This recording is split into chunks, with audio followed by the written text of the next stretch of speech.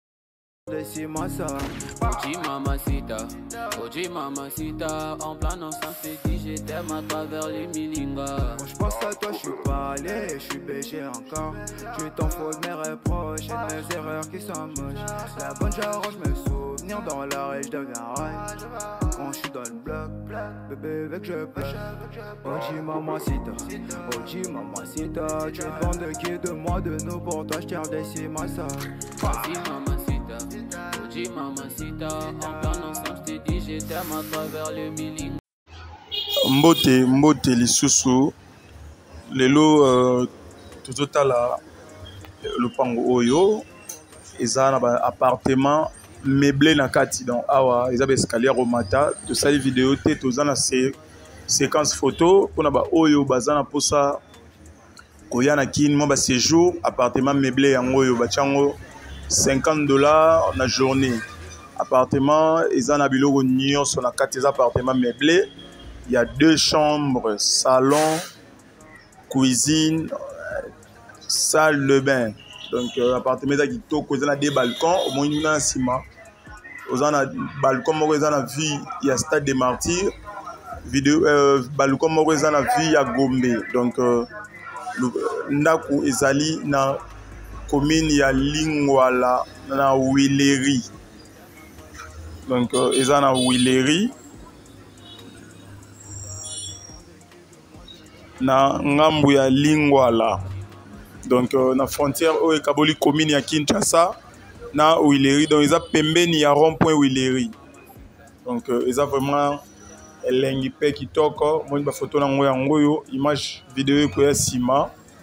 mpona baoyo baza na mposa baya kinshasa bapema esika moko ya bien appartement ya bien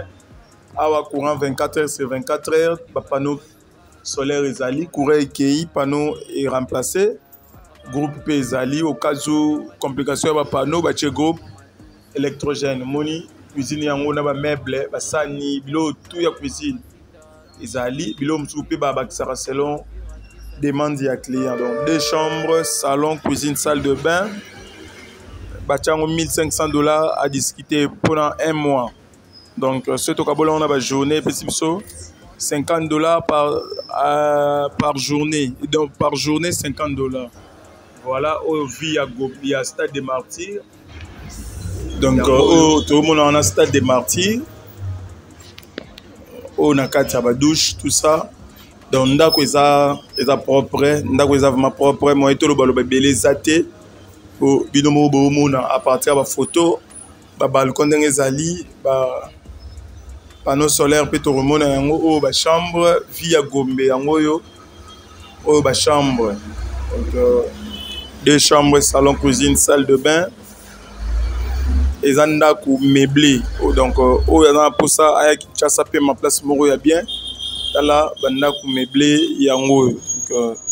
osepeli na yango oza na mposo ya kinshasa obengi biso